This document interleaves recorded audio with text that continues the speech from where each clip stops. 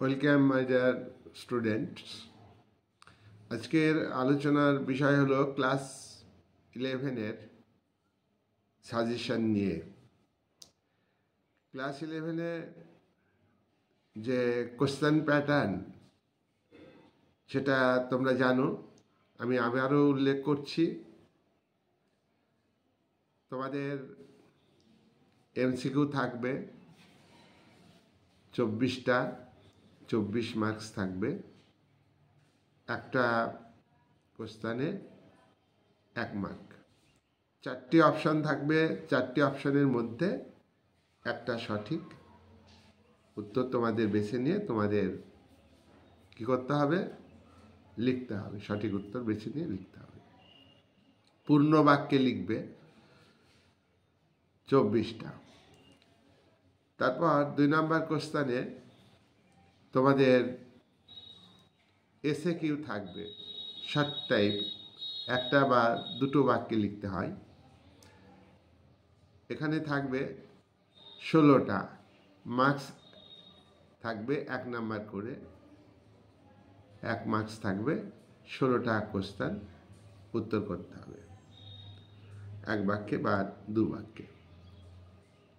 ষোলো আর হলো তোমাদের চল চব্বিশ।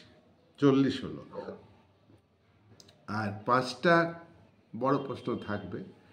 পাঁচটা বড় প্রশ্নে অথবা দেয়া থাকে। সব ক্ষেত্রে অথবা থাকে না, তবে অথবা দেয়া থাকে। পাঁচ চল্লিশ। আট নাম্বার করে, আট মার্কস করে। তো একটা কোশ্চেনে আট মার্কস আবার তোমাদের টপিকে নির্দেশ আছে বইয়ের প্রথমেই নির্দেশটা দেখে নিতে হবে যে কোন কোন চ্যাপ্টারে বড় প্রশ্ন হবে, কোন কোন চ্যাপ্টারে শর্ট কোশ্চেন হবে। কতগুলো চ্যাপ্টারে তোমাদের বড় প্রশ্ন করতে হবে না? তার অ্যান্সার তৈরি করার দরকার নেই।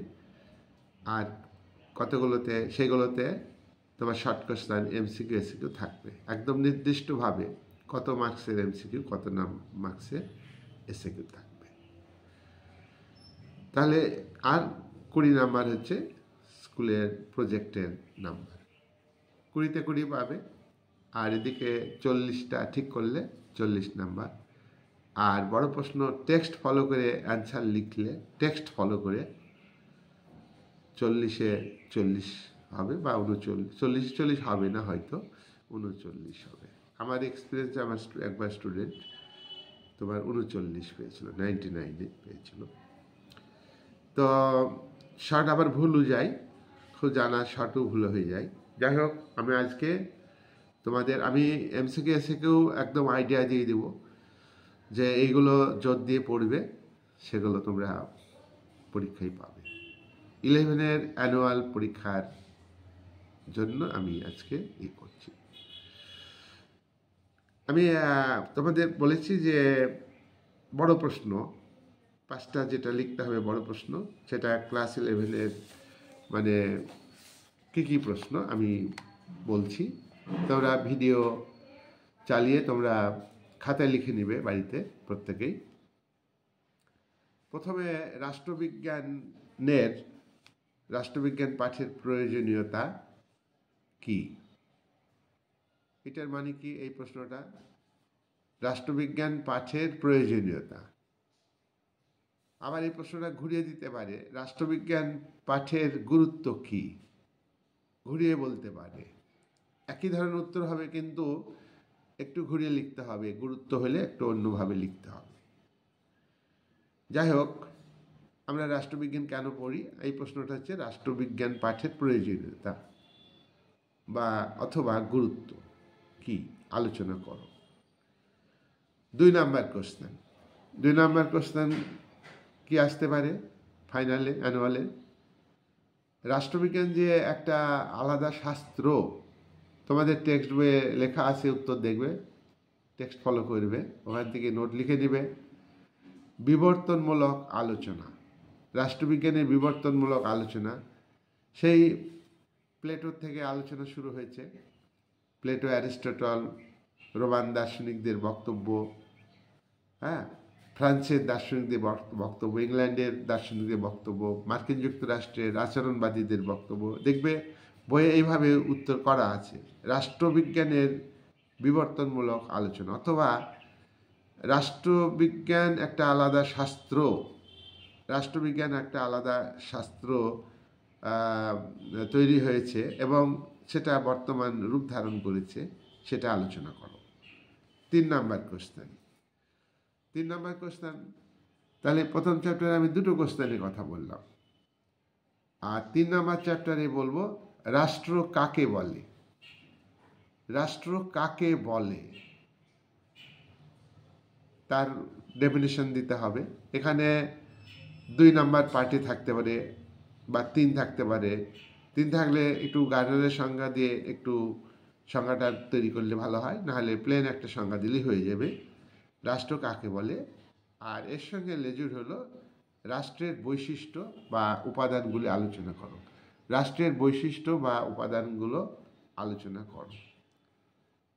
বৈশিষ্ট্য বা উপাদান কি কি?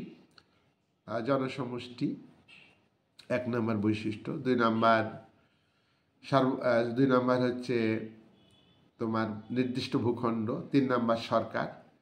চার নাম্বার হচ্ছে সার্বভৌম ক্ষমতা পাঁচ নাম্বার স্থায়িত্ব, ছয় নাম্বার অন্যান্য রাষ্ট্রের স্বীকৃতি, সাত নাম্বার হচ্ছে জাতীয়তাবাদ। এই সাতটা বৈশিষ্ট্য নিয়ে আলোচনা করলেই হয়ে যাবে। টেক্সট বই খুব ভালো লেখা আছে। এটা হলো তোমার তিন নাম্বার কোশ্চেন চার নাম্বার কোশ্চেন চার নাম্বার কোশ্চেন রাষ্ট্রের উৎপত্তি সম্পর্কে বল প্রয়োগ মতবাদ। সমালোচনামূলক আলোচনা করো। রাষ্ট্রের উৎপত্তি সম্পর্কে বল প্রয়োগ মতবাদের সমালোচনামূলক আলোচনা করো।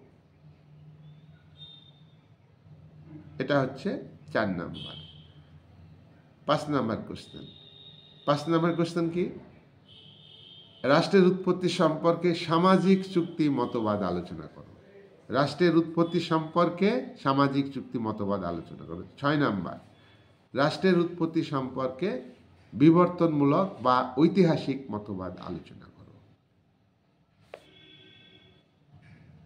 তারপরে তোমার তৃতীয় অধ্যায়। তৃতীয় অধ্যায়ে এবারে বড় প্রশ্ন এসছে, এখানে অথবা দেয়া আছে। এবারে এমসিকিউ এসে কেউ আসার খুব সম্ভাবনা বেশি। তবে এখানে তোমার একটা কোশ্চান আমি লিখে দিচ্ছি। একটা কোশ্চান সেটা কি? সেটা লেখো। লিখবে জাতীয়তাবাদ ও আন্তর্জাতিকতাবাদের মধ্যে সম্পর্ক। জাতীয়তাবাদ ও আন্তর্জাতিকতাবাদের মধ্যে সম্পর্ক। অথবা একই উত্তর হবে জাতীয়তাবাদ কি আন্তর্জাতিকতাবাদের পরিপন্থী তোমার উত্তরের সপক্ষে যুক্তি দেখাও। তারপরে কোশ্চেন এককেন্দ্রিক সরকার, তারপরে আইন আছে আইনের চ্যাপ্টার কোশ্চেন আছে, ওখানে ব্রড না দিতে পারে শর্টে হিসাবে করতে হবে। আবার ব্রড দিতেও পারে, তাহলে ব্রড একটা কোশ্চেন আমি বলি, আইনের উৎসগুলি আলোচনা কর। আইনের উৎসগুলো অবলিক দেওয়া আছে, আইনের উৎসগুলি আলোচনা করো। আইন কাকে বলে? আইনের উৎসগুলি আলোচনা করো। তারপরে তোমার স্বাধীনতা কাকে বলে? স্বাধীনতার প্রকারভেদ তারপরে পরে কোশ্চেন হচ্ছে অধিকার কাকে বলে? অধিকারের প্রকারভেদ আলোচনা করো। তারপরে কোশ্চেন হচ্ছে এককেন্দ্রিক সরকার। এককেন্দ্রিক সরকার কাকে বলে? এককেন্দ্রিক সরকারের বৈশিষ্ট্যগুলি আলোচনা করো। নেক্সট কোশ্চেন যুক্তরাষ্ট্র কাকে বলে? যুক্তরাষ্ট্র কাকে বলে? যুক্তরাষ্ট্রের বৈশিষ্ট্যগুলি আলোচনা করো। ভেরি ভেরি ইম্পর্ট্যান্ট এককেন্দ্রিক সরকার ও যুক্তরাষ্ট্রীয় সরকারের মধ্যে তুলনামূলক আলোচনা করো অথবা পার্থক্য আলোচনা করো। এই প্রশ্নটা করলে আগের এক কেন্দ্রিক সরকারের বৈশিষ্ট্য পারবে, আবার যুক্তরাষ্ট্রীয় সরকারের বৈশিষ্ট্য পারবে। তাহলে এর পার্থক্যটা বইয়ে আছে, পার্থক্যটা পড়ে নেবে। কমন পাবে আশা করি। তারপরে প্রশ্ন, সংবিধান কাকে বলে? কনস্টিটিউশন কাকে বলে? বা শাসনতন্ত্র কাকে বলে? তা মার্কস দুই থাকবে পার্ট নাম্বার আর এর সঙ্গে লেজুর, সুপরিবর্তনীয় ও দুষ্পরিবর্তনীয় সংবিধান কাকে বলে? সংবিধান কাকে বলে? তার সঙ্গে সুপরিবর্তনীয় ও দুষ্পরিবর্তনীয় সংবিধান কাকে? এই পার্থক্য উল্লেখ করো। পরে প্রশ্ন। সংবিধান কাকে বলে? লিখিত সংবিধান ও অলিখিত সংবিধানের পার্থক্য উল্লেখ করো। পরের কোশ্চেন পরের কোশ্চেন হলো, ভারতের সংবিধানের ভারতের সংবিধানের উল্লেখিত তোমার স্বাধীনতার অধিকার আলোচনা করো। উনিশ থেকে বাইশ ধারায় উল্লেখিত স্বাধীনতার অধিকার। এখানে শুধুমাত্র উনিশ ধারার যে ছটা মৌলিক অধিকার আছে বর্তমানে, সেটার উপরেও প্রশ্নটা হতে পারে। যাই হোক, স্বাধীনতার অধিকার। তারপরে প্রশ্ন, ভারতের সংবিধানে উল্লেখিত ধর্মীয় স্বাধীনতার অধিকার আলোচনা করো। এই ধর্মীয় স্বাধীনতার অধিকার তোমার উল্লেখ আছে পঁচিশ থেকে আঠাশ ধারায়। তারপরে প্রশ্ন, নির্দেশমূলক নীতি, ভারতের সংবিধানে উল্লেখিত তোমার নির্দেশমূলক নীতি আর মৌলিক অধিকারের মধ্যে পার্থক্য। তৃতীয় অধ্যায়ে মৌলিক অধিকার উল্লেখ আছে। তৃতীয় অধ্যায়ে বারো থেকে পঁয়ত্রিশ ধারায় উল্লেখ আছে। আর নির্দেশমূলক নীতি উল্লেখ আছে তোমার ছত্রিশ থেকে একান্ন ধারায়। এটা চতুর্থ অধ্যায়। অধ্যায় সংবিধানের মোট বাইশটা অধ্যায় আছে ভারতের সংবিধানে।